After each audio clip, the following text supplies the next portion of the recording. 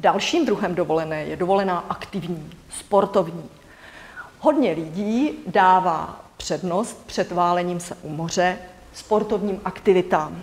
Vyrážejí do hor, na horské kolo nebo na dlouhé túry a není ani málo těch, kteří se vydávají třeba i na túry do Himalájí. I tam je potřeba přibalit si sebou něco, co nám na takové dovolené bude užitečné.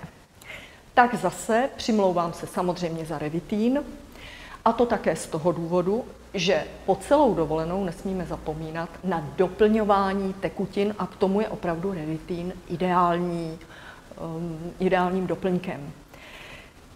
Samozřejmě si sebou přibalíme i Simbu, zejména pokud opět tedy cestujeme do exotických zemí a pokud tedy um, se nechceme dostat do nebezpečí, že si někde na trhu koupíme něco závadného a pak budeme mít střevní potíže. Takže Simba a Revitin jsou nedílnou součástí naší výbavy. Pokud vyrážíme na dlouhé expedice, tak abychom si zajistili jídlo, můžeme opět vzít s sebou linii a použít ji jako jednu e, z možných variant třeba oběda nebo i večeře, pokud nemáme možnost dojít do nějakého hotelu nebo penzionu a najíst se.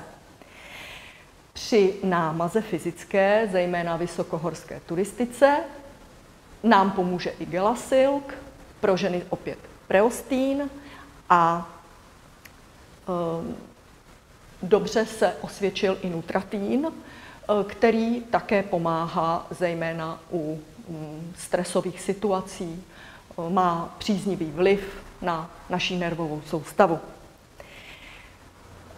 K dovolené, která je především o fyzické námaze, bych ještě doplnila, že je dobré přibalit si Nutraben Forte.